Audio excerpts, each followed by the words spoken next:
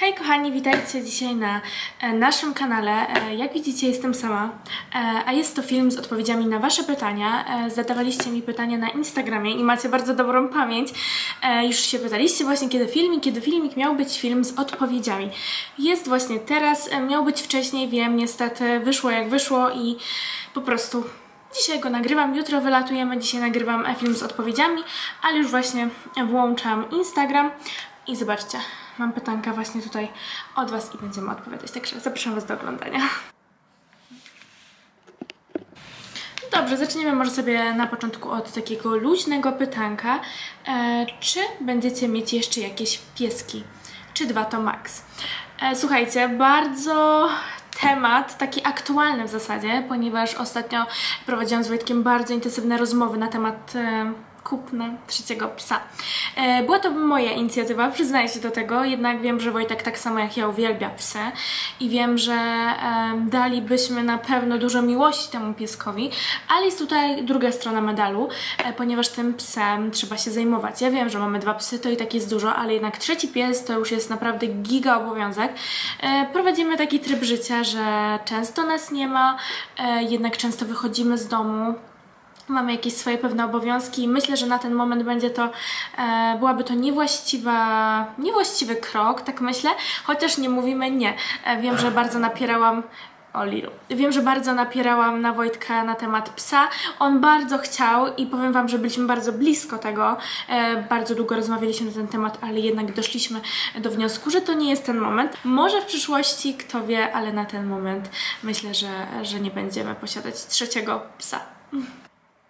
Drugie pytanie brzmi, e, jaką szkołę ukończyłaś? Kochani, ja jestem po technikum hotelarskim i w sumie takie krótkie pytanie, także e, lecimy do następnego, ale myślę, że z Instagrama większość wie. Jeśli mnie obserwujecie, to na to pytanko już wcześniej opowiadam, a jeśli mnie nie obserwujecie, kochani, to serdecznie Was zapraszam do opisu, tam macie mój Instagram, Instagram Wojtka e, i wszystkie nasze właśnie socjale, także zapraszam. I idziemy do kolejnego pytania. E, Mam bardzo dużo pytań również na temat e, pielęgnacji moich włosów i też to są pytania, e, czy to są moje włosy, czy doczepiane, kochani, to są doczepiane włosy i tutaj nawiązując do pielęgnacji, bo też jest dużo pytań, odpowiem Wam na wszystko tak ogólnie, postaram się jak najszybciej to zrobić. Kochani, ja zdecydowałam się na przedłużanie włosów, ponieważ włosy od lat to był taki mój kompleks. Myślę, że na Instagramie też wypowiadałam się na ten temat, ale tutaj na YouTubie nigdy nie było na to miejsca i no jakby po prostu e, nie było okazji, żeby to powiedzieć. Uważam, że to była jedna z lepszych decyzji, jakie mogłam podjąć. E,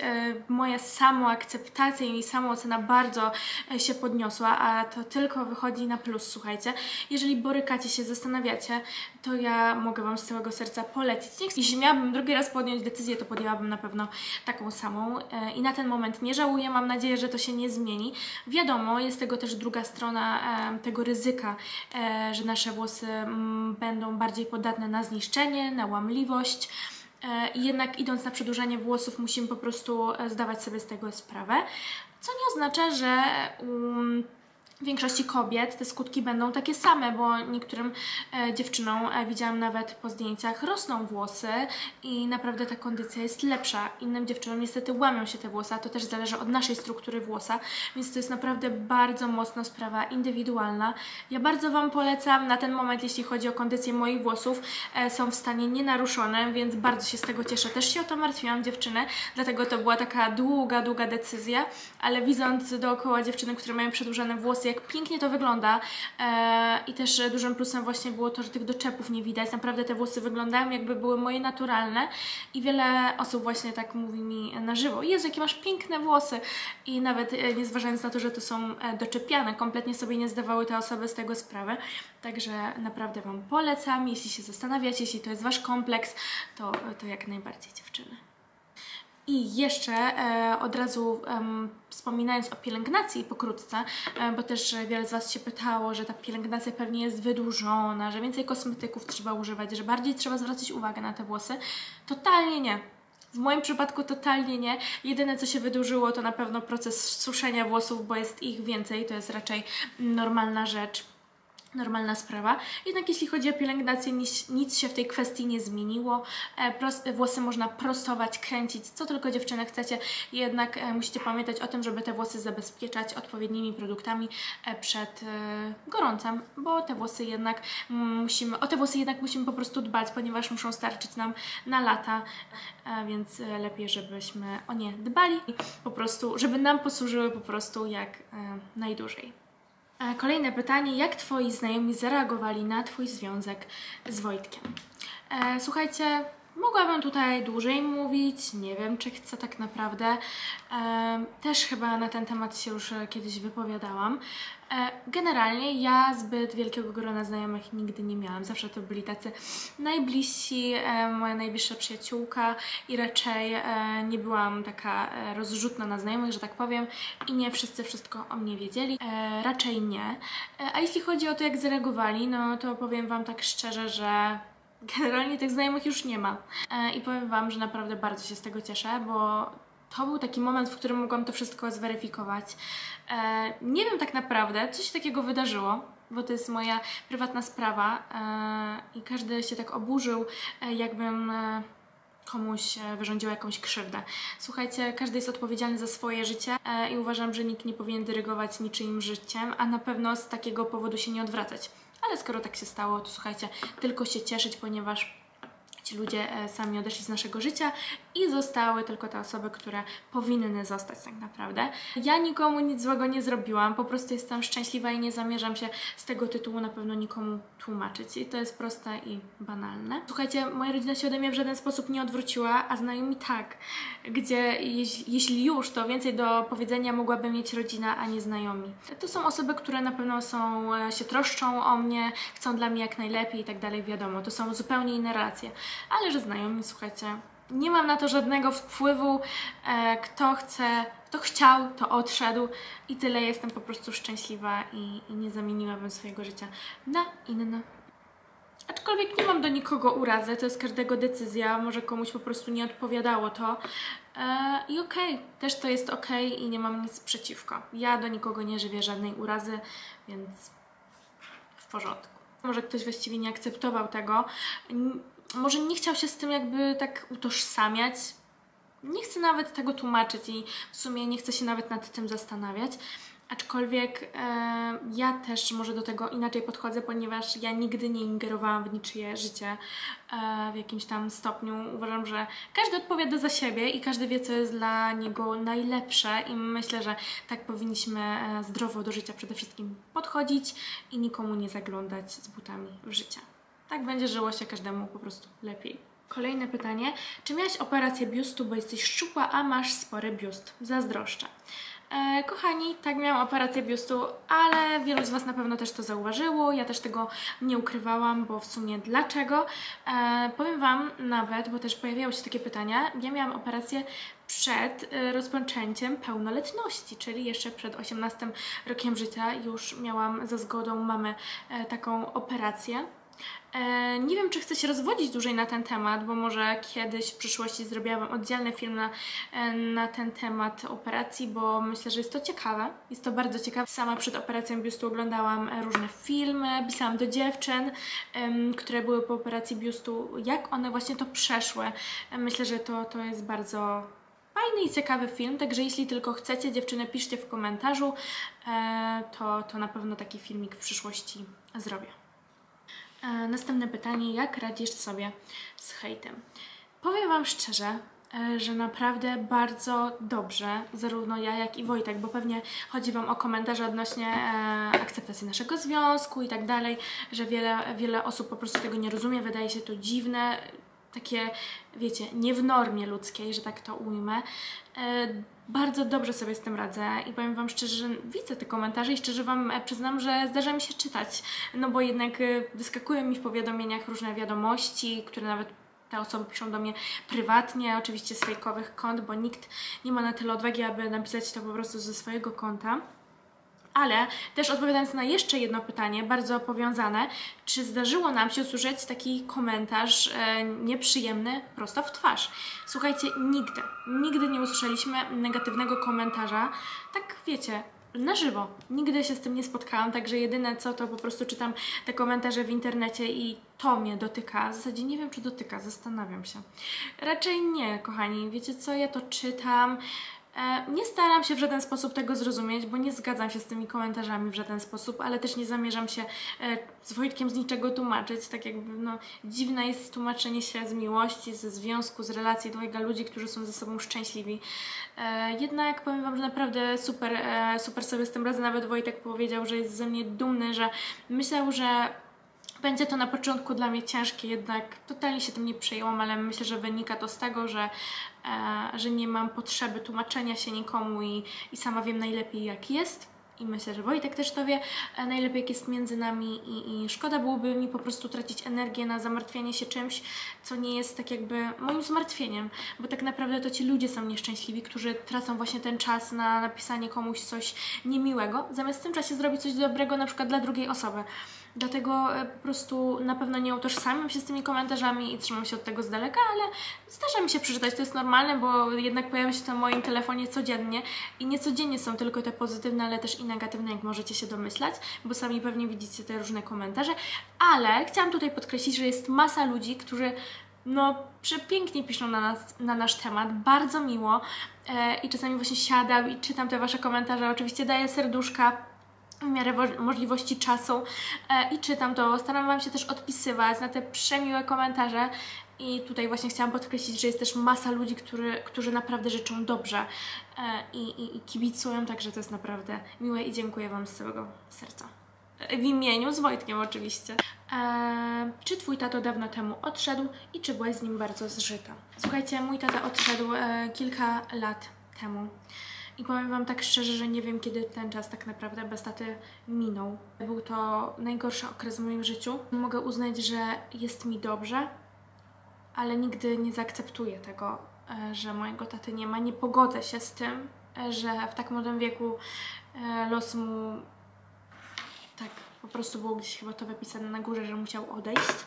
Powiem Wam, że z moim tatą mieliśmy najlepsze relacje na świecie i myślę, że e, wszyscy bliscy, którzy gdzieś tam słyszeli o relacji z moim tatą, znajomi, rodzina wiedzieli, że miałam z tatą bardzo, bardzo dobre relacje na poziomie takim nawet koleżeńskim.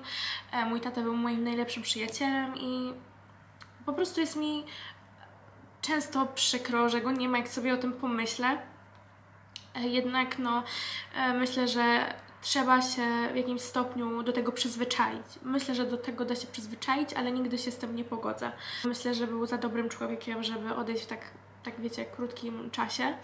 E, myślę, że rolę, swoje, rolę taty, jaką pełnił e, w życiu e, spełnił się w 100% i myślę, że moja siostra powie to samo i wszyscy bliscy, którzy wiedzieli, jak mój tata traktuje nas, moją mamę, przeżyłyśmy przeżyliśmy przez ten cudowny czas tatą, jednak cały czas powtarzam, że jest to za mało i zawsze tak siadam z siostrą i się zastanawiamy, kurczę, ciekawe jakby to było, gdyby tata żył, co byśmy teraz robili, wiecie, mm, co tata by dalej robił, czy byśmy mieszkali e, jeszcze wtedy w tym samym miejscu, wiecie, różne są domysły. Po prostu zawsze się zastanawiam, jak mój tata na przykład by się odniósł do wielu spraw na świecie, które na przykład teraz są ciekawe, czy on zdaje sobie z tego sprawę, jak jest teraz. Zdaje sobie milion pytań, na które nie mogę znaleźć odpowiedzi i na pewno nie znajdę nigdy odpowiedzi, dlaczego tak szybko odszedł, bo był ogromnie dobrym człowiekiem i strasznie za nim tęsknię, ale też e, zawsze sobie to powtarzam, że na pewno na nas tam czeka e, i że patrzy na nas i jest e, szczęśliwy na pewno. Mam taką nadzieję, że jest szczęśliwy. Także jeżeli są tutaj osoby, które również przeżyły śmierć bliskiej bardzo osoby, to słuchajcie, jestem z Wami. Słuchajcie, jak takie coś przeżyłyśmy, to kurczę, przeżyjemy naprawdę wszystko. Myślę, że mogę być z siebie dumna na takim stopniu, e, wiecie, takiej psychiki, że jestem naprawdę silna psychicznie, dlatego pewnie wiele rzeczy już mnie nie boli, które wcześniej pewnie przed śmiercią taty by mnie zabolały. Myślę, że jestem bardzo silna i, i mogę to, to powiedzieć. E, kolejne pytanie, jakie miałaś zabiegi medycyny estetycznej na twarz? Kochani, wiem, że wielu, wiele hejterów w zasadzie doszukuje się drugiego dna. Ona pewnie ma to zrobione, to zrobione. I tak się doszukują. Ja nie mam problemu z tym, żeby powiedzieć, co robiłam z buzią. Wręcz przeciwnie, nie mam naprawdę z tym problemu i uważam, że osoby, które wykonują takie, tego typu zabiegi, nie ma nic z tym złego. Naprawdę nie ma nic z tym złego. Czy to zarówno jak i kobieta, czy mężczyzna, nie moja twarz, nie moja sprawa. E, Byleby to było w granicach rozsądku po prostu. Jeżeli ta osoba ma się czuć z tym, e, czuć z tym lepiej, to dlaczego, słuchajcie, nie. A jeżeli chodzi o mnie, jedyne co robiłam, to po prostu wypełniałam swoje usta, e, robiłam brodę. To są e, dwie rzeczy, dwa zabiegi inwazyjne, e, które robiłam, jeśli chodzi taką wam jeśli chodzi wam o taki ingerencyjny zabieg, to właśnie było to. Wiem, że też pisaliście, że policzki robiłam i tak dalej. Nie, nic z tych rzeczy. Nic z tych rzeczy. E, jeżeli e, już, to zabiegi typu mezoterapia i tak dalej. Ostatnio, o właśnie sobie teraz przypomniałam, byłam na lipolizie w klinice. Była to współpraca, czytałam dużo o tym zabiegu, e, ale myślę, że to nie jest jakoś bardzo inwazyjny zabieg, jeśli chodzi o to. Nie jest on bardzo zmieniający kształt twarzy i tak dalej. Możecie sobie poczytać o tym zabiegu. E, botoksów e, nie robiłam, nic z tych rzeczy, także kochani, nie doszukujcie się. Ja nie mam problemu z tym, aby powiedzieć o te, tego typu zabiegach i też dziwi mnie to, że niektóre osoby to ukrywają, bo nie ma w tym nic totalnie złego. Kolejne pytanie. Czy chorowałam e, na bulimię? Kochani, nie chorowałam. E, wiele osób do mnie napisało, że gdzieś w komentarzu e, była wiadomość, e, że ktoś od mojej znajomej się doinformował, że chorowałam na bulimię. Jest to totalnie nieprawda. Nie wiem skąd ktoś to, tą informację wziął. Nie mam pojęcia, naprawdę się zastanawiam e, czasami skąd ludzie biorą takie fałszywe informacje. Może po prostu chcą rozsiać fałszywą plotkę, to jest jedyne sensowne rozwiązanie, odpowiedź. E, nie chorowałam e, na bulimię ani żadne podobne choroby, także odpowiadając nie chorowałam. E, Powiem Wam, że nie wierzcie często w to, w to co piszą inni e, w komentarzach, w wiadomościach. Trzeba zawsze sobie wziąć to na poprawkę zdecydowanie i, i dowiedzieć się u źródła, chociaż nie wiem, dlaczego bulimia. Totalnie, totalnie nie. Czy od zawsze miałaś taki dobry kontakt ze swoją siostrą? E, kochani, odkąd pamiętam, to zawsze miałyśmy bardzo dobry kontakt. E, jednak jak byłam malutka i ta jednak różnica wieku była bardzo widoczna, to wiadomo, że wtedy było ciężko dogadanie się.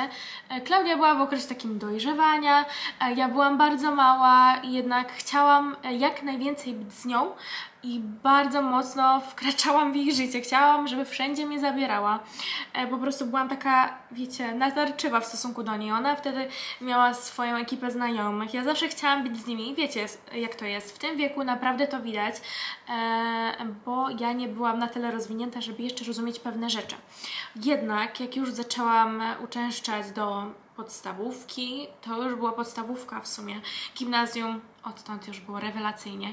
I zobaczcie, byłam w podstawówce, Klaudia zupełnie była o wiele, o wiele starsza, a my dogadywałyśmy się jakby tej różnicy nie było. A przypominam, że różnica wieku między nami to jest 9 lat. Przepraszam Was, jeśli, będę, jeżeli będzie to widoczne, że patrzę w podgląd. Uczę się, słuchajcie, nie krzyczcie tutaj na mnie. Ale wracając, e, różnica między nami jest 9 lat. I powiem Wam, że od mojej podstawówki e, nasz kontakt był rewelacyjny. I zobaczcie, ja w tak młodym wieku mimo wszystko idealnie się dogadywałam z Klaudią i miałyśmy e, to samo poczucie humoru, mogłyśmy porozmawiać już na wiele więcej tematów, a w ciągu dalszym byłam mała. Wiecie, starsza, ale nadal mała. Nie mam problemu porozumieć się z na przykład z Wojtkiem. Dlatego ta różnica między nami się gdzieś tam zaciera i nie ma takiej bariery wiekowej, bo możemy porozmawiać na wiele tematów. Ja od, w sumie nigdy nie miałam z tym problemu, zawsze e, te tematy same przychodziły, e, zawsze jednak miałam również e, starszych znajomych. Nigdy nie miałam młodszych znajomych, zawsze to byli starsi albo w moim wieku, dlatego właśnie miałam zawsze znajomych w starszym wieku i ta, ta bariera wiekowa gdzieś tam nigdy mnie nie ograniczała w kontaktach z innymi, dlatego pewnie z Wojtkiem tak idealnie się dogadujemy i te, e, tego wieku tak naprawdę nie czujemy, a też było wiele pytań o to, czy czujemy z Wojtkiem różnicę wieku, żebyśmy powiedzieli za i przeciw takiej relacji, ale nie będę sama się wypowiadała e, również za Wojtka. Na pewno kiedyś powstanie taki filmik we dwójkę, e, gdzie będziemy odpowiadać na tego typu pytania, jeśli chodzi o nasz związek, bo chciałam, żeby te pytania były e, bardziej dotyczące mnie. Masz piękną figurę, zdradź proszę ile masz wzrostu, ile ważysz. Wiem, że wiele dziewczyn z internetu, które kojarzycie, dostaje masę takich pytań. Pytań i zastanawiam się skąd te pytania się biorą, ale jedyna jest prosta odpowiedź, ponieważ wy kreujecie sobie idealną sylwetkę i chcecie się porównywać, a bo ona waży tyle, ja też chcę tyle ważyć, żeby właśnie tak wyglądać. Słuchajcie, pewnie już też wiele osób wam to mówiło, ale jeżeli ja będę tyle ważyła i ty będziesz tyle ważyła, mamy zupełnie inny, inny wzrost, mamy zupełnie inną budowę ciała, to te sylwetki nigdy nie będą porównywalnie tak samo wyglądały. Do tego e, myślę, że tutaj zdrowym zdrowym, zdrową metodą będzie to, jeśli nie będę po prostu mówiła już tej wagi, bo nie chciałabym, żeby ktokolwiek się porównywał po prostu. A ta waga też ciągle się zmienia. Ja też powiem Wam szczerze, mam taki okres, że przytyję, źle się ze sobą czuję, ale zaraz to zrzucę i czuję się o wiele lepiej. A jeżeli chodzi o mój wzrost, to mam prawie 1,70 m. 1,68 m. Powiem Wam, że nie wiem tak dokładnie, ale myślę, że właśnie w tych granicach, ale właśnie to są te pokroje. Także kochani, nie ma co się porównywać. Myślę, że wyznacznikiem najlepszym będzie to, jak sami Wy się czujecie w swoim ciele.